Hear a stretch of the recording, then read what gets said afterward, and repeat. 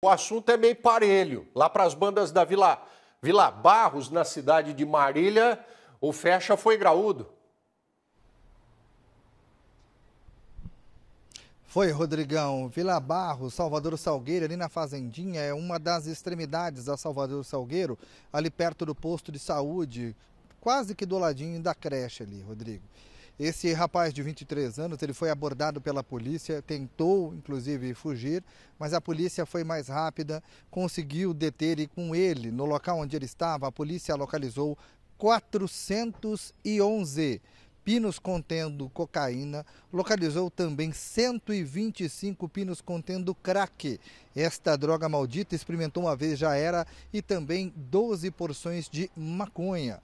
O rapaz de 23 anos foi levado para a Central de Polícia Judiciária, indiciado por tráfico de drogas, meu irmão.